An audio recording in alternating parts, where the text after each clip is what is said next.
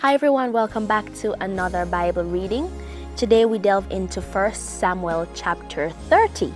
And in this chapter, David has conflict with the Amalekites. Let's read together. Now it happened when David and his men came to Ziklag on the third day that the Amalekites had invaded the south and Ziklag, attacked Ziklag and burned it with fire, and had taken captive the women and those who were there, from small to great. They did not kill anyone, but carried them away and went their way.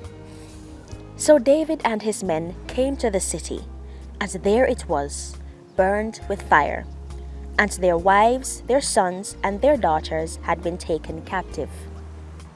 Then David and the people who were with him lifted up their voices and wept until they had no more power to weep.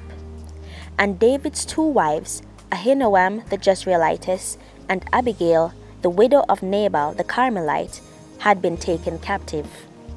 Now David was greatly distressed, for the people spoke of stoning him, because the soul of all the people was grieved, every man for his sons and his daughters. But David strengthened himself in the Lord his God.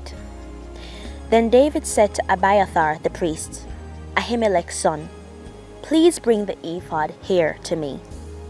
And Abiathar brought the ephod to David.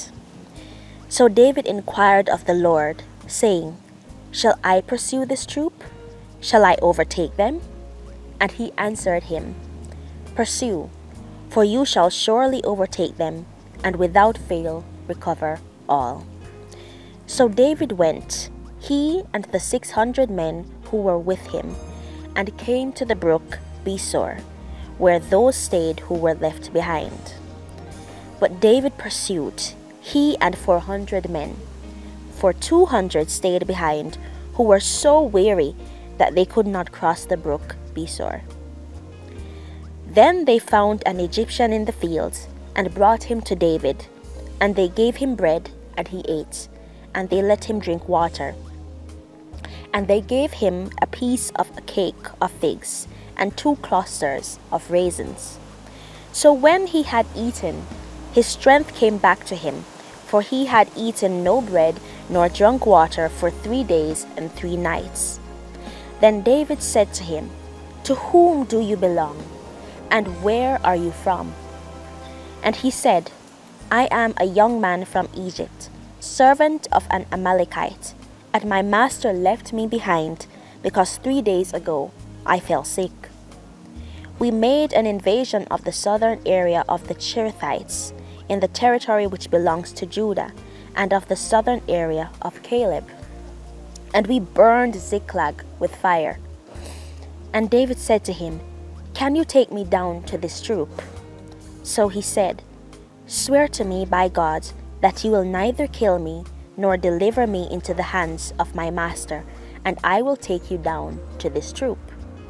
And when he had brought him down, there they were, spread out over all the land, eating and drinking and dancing, because of all the great spoil which they had taken from the land of the Philistines and from the land of Judah. Then David attacked them from twilight until the evening of the next day. Not a man of them escaped, except 400 young men who rode on camels and fled. So David recovered all that the Amalekites had carried away, and David rescued his two wives. And nothing of theirs was lacking, either small or great, sons or daughters, spoil or anything which they had taken from them. David recovered all. Then David took all the flocks and herds they had driven before those other livestock and said, This is David's spoil. Now David came to the two hundred men who had been so weary that they could not follow David, whom they also had made to stay at the brook Besor. So they went out to meet David and to meet the people who were with him. And when David came near the people, he greeted them. Then all the wicked and worthless men of those who went with David answered and said, Because they did not go with us, we will not give them any of the spoil that we have recovered, except for every man's wife and children, that they may lead them away and depart. But David said, My brethren, you shall not do so with what the Lord has given us, who has preserved us and delivered into our hand the troop that came against us. For who will heed you in this matter? But as his part is who goes down to the battle, so shall his part be who stays by the supplies. They shall share alike.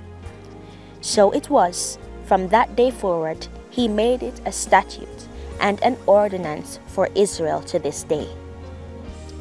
Now, when David came to Ziklag, he sent some of the spoil to the elders of Judah, to his friends, saying, Here is a present for you from the spoil of the enemies of the Lord. To those who were in Bethel, those who were in Ramoth of the south, those who were in Jattir, those who were in Aroer, those who were in Siphmoth, those who were in Eshtemoa, those who were in Rachal, those who were in the cities of the Jerahmeelites, those who were in the cities of the Kenites, those who were in Hormah, those who were in Chorashan, those who were in Athach, those who were in Hebron, and to all the places where David himself and his men were accustomed to rove. Thank you so much for reading 1 Samuel chapter 30 with me, and I am looking forward to reading uh, 1 Samuel chapter 31 with you next time.